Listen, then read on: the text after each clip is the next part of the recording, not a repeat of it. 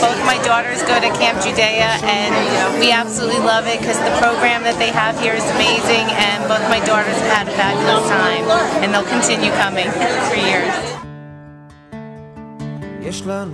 I come back every year because it's like my second home, and I love CJ.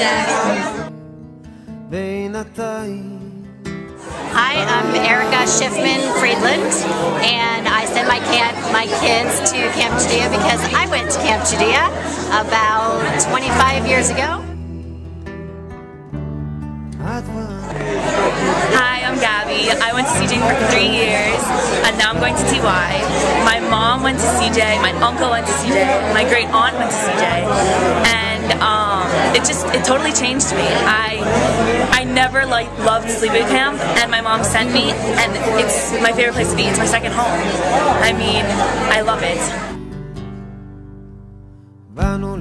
I am an, a, a strong proponent and advocate of, of Israel, and we like the, the curriculum that is, is supportive of the state of Israel.